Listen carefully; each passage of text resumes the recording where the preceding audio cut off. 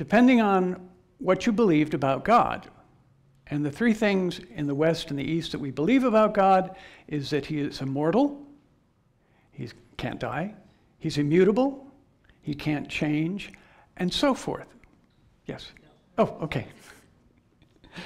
And this all would affect if God is immutable, if God can't change, if God is ever powerful, all powerful, then how could God die? If he is God, if the Word is God, how could he grow in wisdom, strength, and the like? If he is God, how can he be like us and age and eat and do all the bodily functions that we all do? That would be inelegant for a God. And so that brought up all kinds of questions. And it was one of the things that uh, most pagan critics really pointed at. How can you believe that this person who's just newly born and died as a criminal in Rome, how could this be God? So that was one of the major things that they pointed at because their own understanding of gods was very different. Now, many were the attempts to defend various understandings of the divine and how it could work in Jesus. And we're going to concentrate on one that was probably the most important uh, problem for the church. Now, realize that most heresies were Eastern.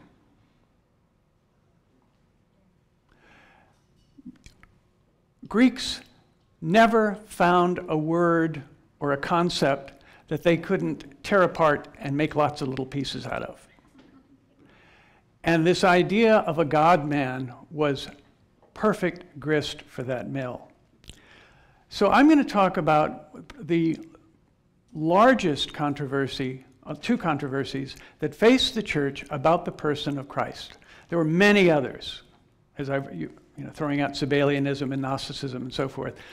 It's, each one of those would be its own, uh, its own, uh, own lecture. But we're going to deal with Arius and Nestorius. Okay? Now, Arius was a priest from Alexandria. That was the capital of Egypt, and the capital, especially of Roman Egypt. So it was a very wealthy place. Now, his bishop was the saintly Alexander of Alexandria. Arius was a theologian, everybody was a theologian in those days. Um, and he wanted to safeguard his understanding of the Godhead. And particularly, he wanted to safeguard the idea of immutability. God can't change, God is perfect as he is. So, how then do we get a Son of God who comes to earth, takes on a human uh, form, lives and dies and, ri- and rises from the dead. How does that work into the immutability of God? Now,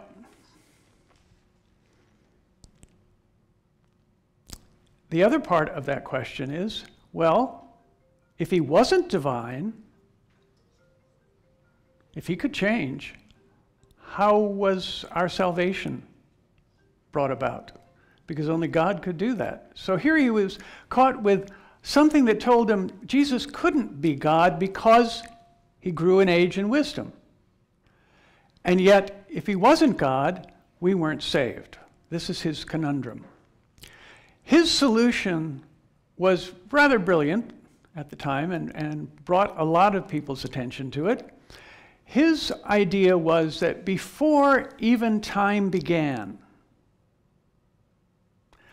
God made a special creation.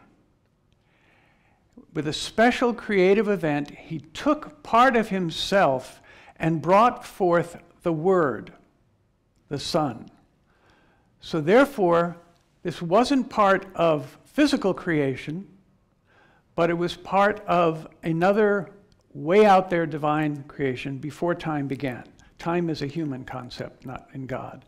In this way, the Word could be in some way divine, sharing his Father's essence, but not of quite the same stature as his Father, who was the creator, originator. So it allowed him then to have a son, but not from eternity. So it's a problem with John. In the beginning was the Word, and the Word was with God, and the Word was God.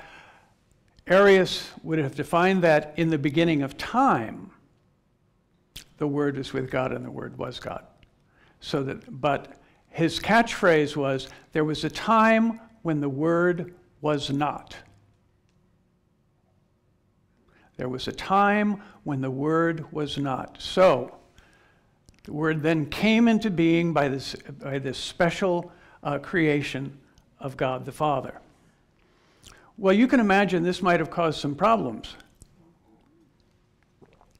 Bishop Alexander was absolutely horrified because Arius was receiving a large popular following and quite a lot of this following was from Oriental bishops, particularly the bishops that came out of Antioch and uh, Syrian Antioch. They could understand this idea, uh, and it did save for them the idea of the immutability of God. So he had both heavy critics and heavy backers. So he was excommunicated by Alexander, Arius was, and thrown out of the city, expelled from Alexandria. But he went around and started preaching his idea and gaining his following. Now, two of his most important followers, one was uh, the, the, church historian Eusebius of Nicomedia, uh, wonderful book to get, by the way, if you want to read about early church history, get his book on it. Uh,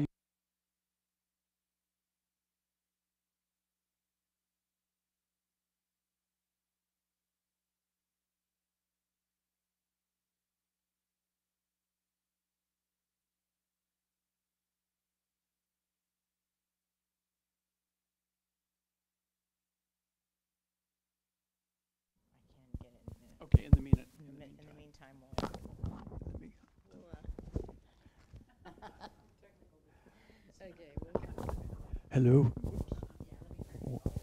Yeah, that would help. One, two, three. There we go. Okay. Um, Arius was excommunicated, thrown out of Alexandria. He then went around gathering followers. Uh, Eusebius of Nicomedia was the first uh, church historian and also became a great friend of Constantine, the emperor. Uh, and another powerful person behind him was Eusebius of Nicomedia. The Greek church is now being torn in two by these two camps the Arians and the Orthodox. They wouldn't call themselves Orthodox yet, but they would soon to, uh, pick up that title. Constantine was gravely concerned. Now, you will remember that Constantine became the single emperor of the Roman world.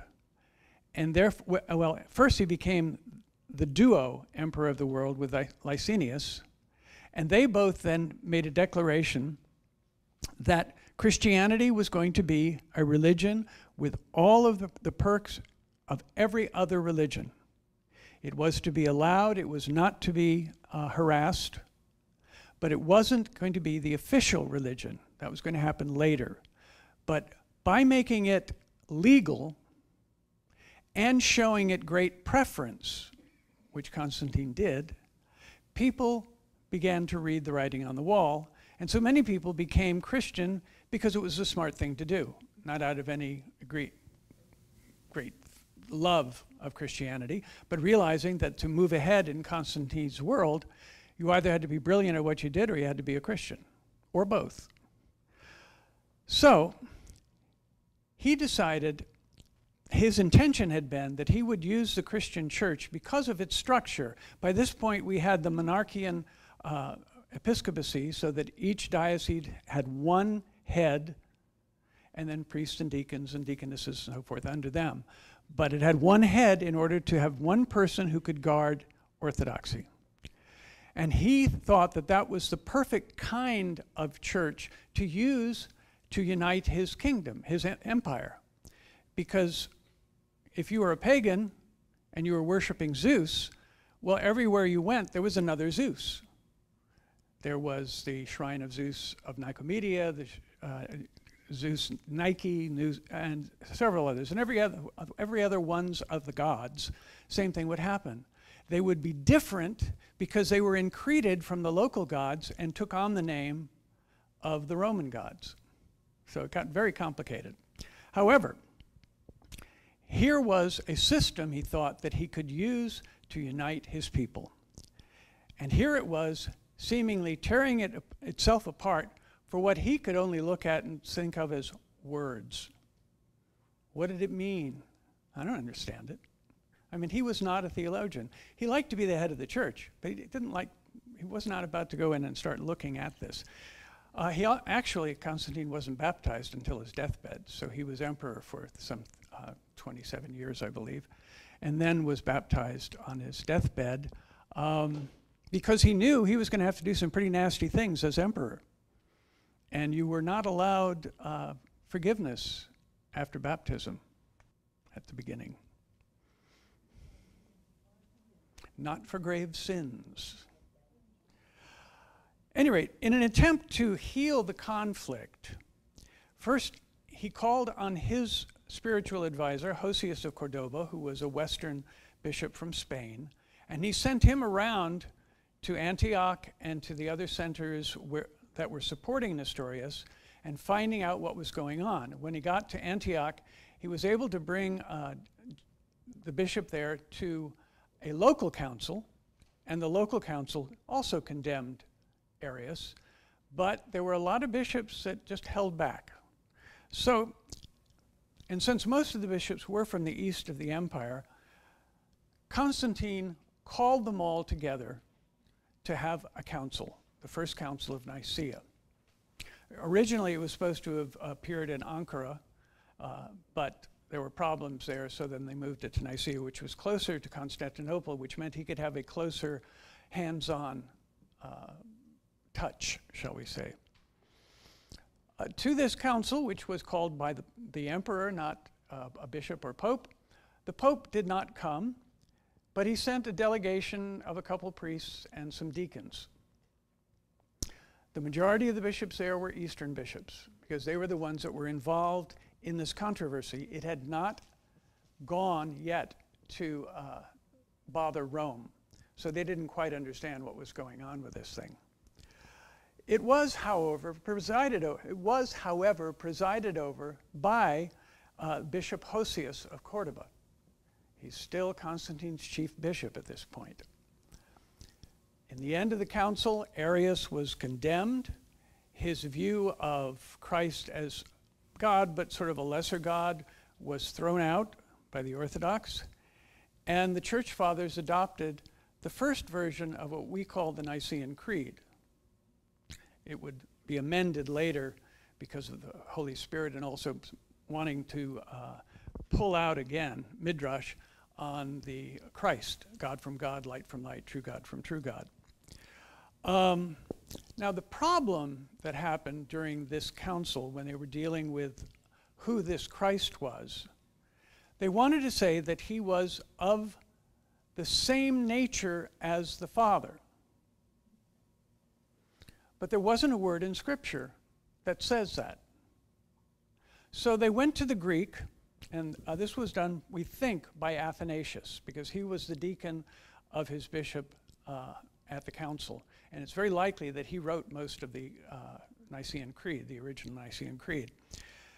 And um, why did I bring that up? Anyway, but they, they needed a word to describe the relationship of the essence of the Father and the Son. And they came up with a word called homoousios, of the same substance. Homoousios. And this is a word not found in Scripture, and therefore a lot of bishops opposed it because they only wanted something they could defend by Scripture. Can't do that if it's not in Scripture. But they, most of them either gritted their teeth and, or held their nose and signed the document. Quite a few of them tried to run out of town before the document was going to be signed, uh, but Constantine sent people after them to make them sign. So finally, almost everyone did. A few people didn't, and they were deposed. Of the same substance, homoousios. Later, uh, of course, not everybody agreed with all of this, and a lot of the bishops went home and became either condemned for their Arianism or they began to look for some kind of a compromise and became what we would call semi Arians. Yeah, he's God, but I'm not quite sure how. So, um, so this led to many, many other questions. Why could it not be taught from Scripture, for instance? Parts of the church would be lost to orthodoxy over this question, part would remain. The Far East, Syria and so forth, went eventually went off uh, into what was called the Nestorian heresy, but that's coming up later. Um, but they also were very chief supporters of the Arian question. Uh, and that would keep going on for hundreds of years because when the Arians, many of the Arians were um, condemned and thrown out of the church because they refused to come to the uh, Nicene formulary, they became missionaries, some of them, and some of them went to what we called Germany. And they converted the Goths to Arian Christianity, which would bring no end of trouble to Rome once the Goths started to descend on the city of Rome. So 400 years of turmoil on Rome came because they didn't involve themselves in this council. Some people would say that. Um, and over the years, other councils would be called because further questions needed to be plumbed about the nature of Christ. This one thing didn't do it. Then, uh, then to go to Constantinople, the Second Council, that was when they midrashed on the creed, and that's where we get the creed in, mostly in the form we have it now. The form we use in the West is not the form the Orthodox use because we were imposed by um, although it started earlier, by, the, uh, by 800, by Charlemagne, the emperor of the West now, to have all of the churches in the West worship the way he worshiped in his chapel at Aachen. And by that point, the phrase, the, uh, the Holy Spirit proceeds from the Father and the Son, was imposed on the creed for the West. And there were a few other phrases that were imposed on the creed that aren't in the creed in the Eastern churches. Eastern churches refused to accept them because they said only a council could amend the belief statement of the church. Now, in the 360s, in an anti Arian reaction, because Arianism was still a big problem, the Bishop of Laodicea in Syria, Apollinaris, led the church into a new crisis. Apollinaris wanted to defend the reality of the incarnation. That's what he wanted to do, just as Arius wanted to defend the immutability of God. He wanted to defend the reality of the incarnation. And for him, the virgin birth was of first importance for dogma, for ritual, for an understanding of sacrament. So Mary's popular title, Mother of God or Theotokos, was very important for that faith because only if she were Mother of God could God have come into the world. He, however, declared that in his opinion, in Jesus, the Word took place of the human mind. Problems. Now, this prevented him from thinking of Jesus as uh, having a dual personality, being sort of schizophrenic. Am I God today? Am I a man today? Am I God? he wanted to avoid that idea by saying that the word was the spark that moved Jesus. Well, can anybody see a problem with that? No. Okay. The problem with that is a phrase that Irenaeus said what was not assumed was not saved. And if Jesus did not have a human mind, and only a divine mind or a human will and only a divine will, then the mind or the will weren't saved. Jesus had to assume all of it. Now, in the working, how he worked it out, I have no idea, but it had to be there. For him to be truly God and truly man, he needed all aspects of our humanity. In 428, a priest from Antioch named Nestorius, who was known as a great preacher, was chosen by the emperor at that time to become the new patriarch of Constantinople because he wanted a great preacher for his church. Now, he was brilliant, but he was intemperate. He was really a nasty individual, actually. Um, and he had very little understanding of either church or imperial politics. He was a backwoods boy. And imperial politics, you had to be very careful what you did. The, um, the actual court was run by a eunuch. Uh, and uh, when Nestorius showed up after being chosen, the eunuch let it be known that he would really appreciate a thank you gift. So Nestorius, being a good bishop, sent him a piece of consecrated bread. He sent it back with a note saying something else might be better. something maybe in gold. Well, Nestorius, he didn't get involved in that. Um, and he also managed to offend and insult the empress. Not a good thing to do because they were very powerful people. And so she's working behind the scenes with the eunuch to get rid of this guy. There's also a fight going on between two schools of theology, the School of Antioch and the School of Alexandria. Both were very important learning centers, both had very different ideas about how you dealt with Scripture. Antioch believed in a very realistic interpretation, no, no allegory. So you didn't take the Song of Solomon, for instance, which is a beautiful love song, which we'll, we'll be using later, and say, well, it's really just an allegory of God searching out the Holy Spirit. He said, no, it's a love song. And this story meant what the story says. It doesn't mean this interpretation of the story. Well, Alexandria believed that you took the written word and then you went off because then you began to delve into the hidden meanings of the various scriptures and stories, such as the Song of Solomon. Um, at one point, he attacked the use of the term Theotokos, which was now completely accepted throughout the church, absolutely loved by all the people, because they loved their mother of God. They were a little afraid of the son because he was, he was clothed with all the dignity of a Byzantine emperor. The garments of an emperor were, were, put on him. The scowl and the authority of the emperor were put upon him. So it's a little hard to approach the emperor.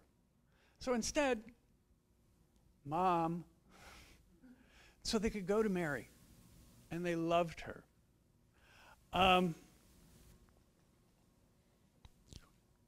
he decided that what people should say, instead of calling Mary Theotokos, the God, the bearer of God, the bringing forth of God, bringing to birth of God, they should say she is Christokos.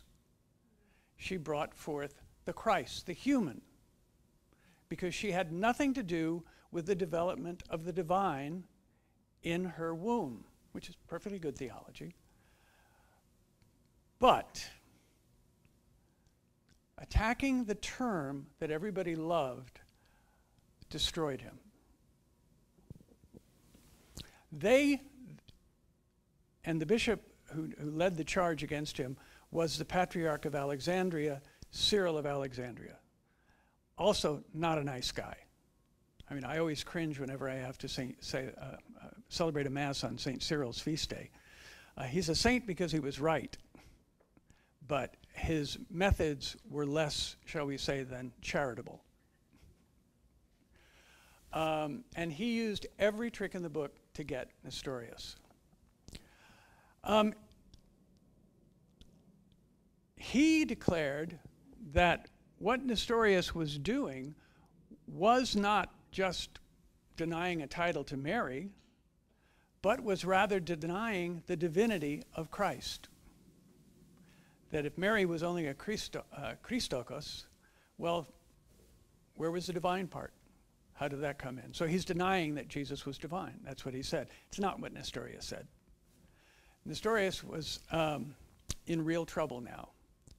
So Cyril, ruthless and consummate politician, rallied the troops of the eastern bishops. There was a council called, again by the emperor, for Ephesus, and he brought all of his clergy there early. Now, John of Antioch was the bishop who was in charge of, of uh, providing support for Nestorius.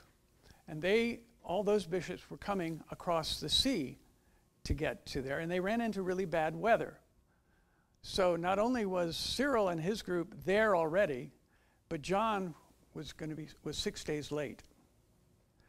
Now,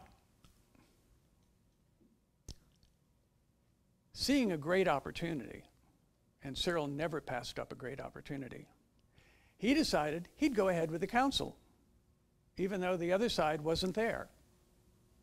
So he brought all of his bishops into the church, the first church dedicated to the Virgin Mary, which was in Ephesus, which is now in ruins, but it's, you can still, if you walk into Ephesus on one side, you can still find it there. Um, brought all the bishops in there, heard themselves talk about what they thought, and then they condemned Arius, uh, Nestorius. They condemned him as um, a, a heretic. They condemned him as someone who was undermining the faith. They condemned him as a person that was out to destroy the church.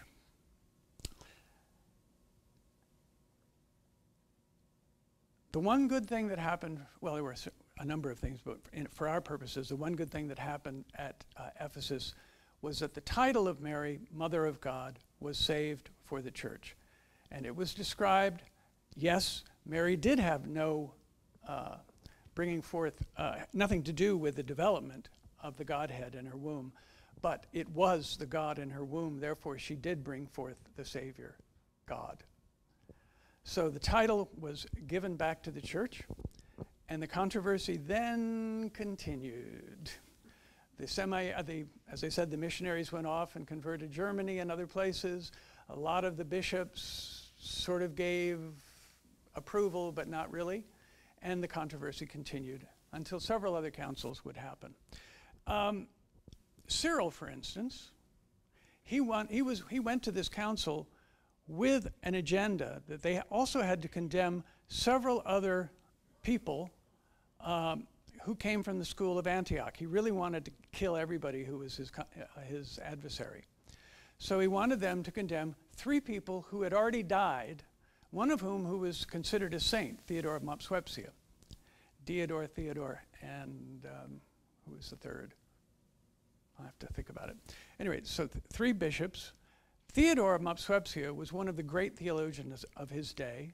He died in uh, odor of sanctity. He was considered a great saint by many of the churches, and especially the churches of the East, the uh, Assyrian churches. They considered him to be the commentator on their liturgy. He did a lot of writing. And so they refused to condemn him. And so, and they were great missionaries that went east. So they took their version of who this Christ was, not using the term Theotokos, but they still taught Orthodox doctrine. It's just because they wouldn't use that term, they, were they also were declared and condemned as Nestorians. They never met Nestorius. They just didn't want to condemn their saint, Theodore of Mopsuestia. But they went as far as China in their missionary work. We have uh, in Heng Sui, there's a monument in the cemetery that on one side is written in Chinese, the other side is written in Syriac, the language of, of uh, the Chaldean church. And uh, they've, in the 1840s, I think they discovered a whole trove of documents that were written in Syriac and in Chinese from the church that had been buried during one of the persecutions of the church by the government. So the government saved what they were trying to destroy. But Cyril, he, he got them condemned, but he wasn't able to get part of the rest of his agenda carried through condemnations of other things, of certain writings and certain people. And so he compromised on that. They didn't have to condemn them yet, they'd be condemned later. But when he went back to Alexandria, his followers thought that he had betrayed them by this compromise. And they became what is called the Monophysite church in Alexandria, which then passed further down into Africa into the Coptic and the Ethiopian churches. And Monophysitism is the theory, because Cyril was teaching that it was the divine part of Christ that brought salvation, whereas the Antiochenes said it was the human part of Christ that brought forth salvation. So it was Christ as in his humanity that saved us for them, whereas Cyril, it was his divinity, and therefore the Monophysites took that a little bit further. You don't have to go too far. And this was the theory that in Christ there was only one nature. And that nature was not consubstantial with humanity.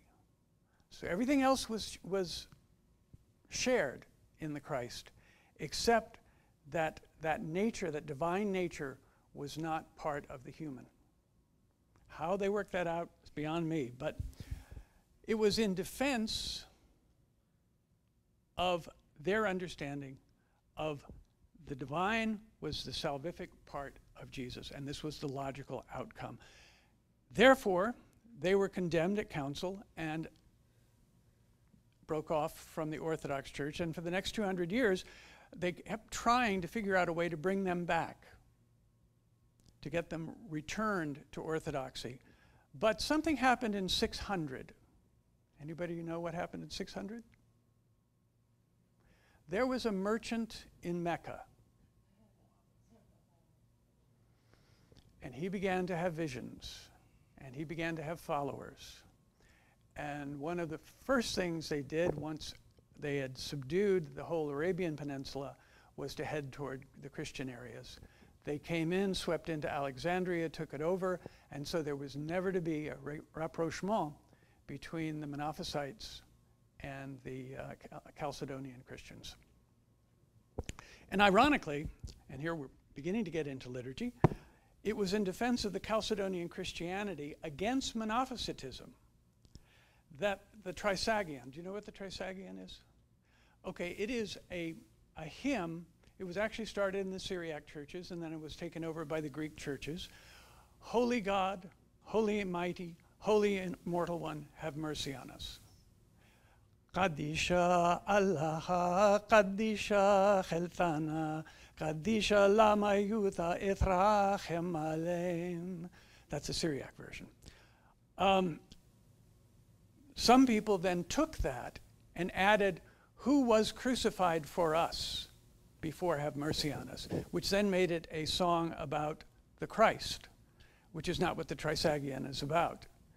It is, you say it three times literally because of the Trinity. So then it was brought back in another controversy. They love controversies. Another controversy back to its original form as we have it today. Holy God, holy and mighty, holy and immortal. Actually, the words are holy, non, not dying one, have mercy on us. So that is what you need to know for us to get into the next part of what we're going to do here today, or at least what you're going to do with me, not the next part of what you're going to do. So, um, are there any questions? If there are no questions after that one, yes. Anywhere in the book like a timeline that shows. How about a, a timeline of Eastern Church history? The question was, is there any kind of a timeline? Actually, I also have a, a banner that would stretch from that to the, over there on, uh, that I drew up on paper when one of my uh, iconography instructors asked me to do a history chart of this period. So it started there and it showed who the emperor was, who the pope was, who the patriarch of this, that, and the other, what happened, and it just goes on forever. So, yes, there are, and you're in danger. Another question? A good, a very good book to read if you're interested in the, the development of the early church is uh, this is Henry Chadwick's uh, Penguin Classics, the early church. You can find it almost anywhere. It's a great read and will take you into all kinds of wonderful places you never expected to be, and you never thought you'd find the church there. That's a very good one. Uh, it's called the, uh, the Early Church by Henry Chadwick. Uh, there's, an, uh, there's another one, let's see, Cardinal, I had his name earlier. I'll, I'll bring you a, I'll bring you a reading list tomorrow. Any other questions? Yes. Uh, So the ties in East, like Ephesus and all these, were from the Apostle Paul? Yes. Is that how the ties were Well, it's, started, I guess, you mean, when what started? Just the church? Well, if you take, and, nope, there it is. If you look at a map of Paul's journeys, he went, uh, in one of the journeys, he went up the coast of what is now Turkey. And that's where a great deal of these cities are. Some are inland, some are uh, closer to the uh, coast, but that's pretty much what he followed, the trade routes. So he doesn't do a lot in the interior of Greece, but he does do a lot around the harbors. So um, that's how Ephesus became part of this. But then when he would uh, move along, uh, it is thought that John the Apostle took Mary to Ephesus in fleeing the persecutions that were going on. And they'll show you the house where she lived. And, and Catherine Emmerich is supposed to have uh, uh, had it, seen it in a vision. So they have now restored that. Um, the Basilica of St. John is this enormous uh, structure on the other side of the city uh, that had some pretty impressive ruins, and particularly the baptistry is, is quite nice. There is between that area and uh, the city proper, the ancient city proper, a marsh, and in the middle of that marsh is one single column, fluted column with Corinthian tops. That is all that is left of one of the seven wonders of the world, the Temple of Diana. Because Diana was the patroness goddess of Ephesus, and her great temple was there. And they used to every year parade her statue from that, from that temple into the city in a long uh, celebration, multiple celebrations. But uh, all the rest of, the, of it were torn down and carted off by Theodosius and Justinian to build their cities. Um, so yeah, it, it's we have a past. yes. Anyone else? Wow. Okay.